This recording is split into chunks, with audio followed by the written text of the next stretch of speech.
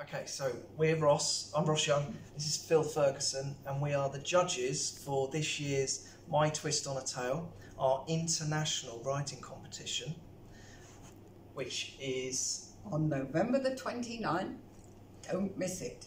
And because we're the judges, we can let you in on a little secret on how you can get your children to win the competition. so, what we're looking for, more than anything else, is to hear about your children's lives. We're very nosy, you see. We love hearing little tales from children and what they get up to. Good luck.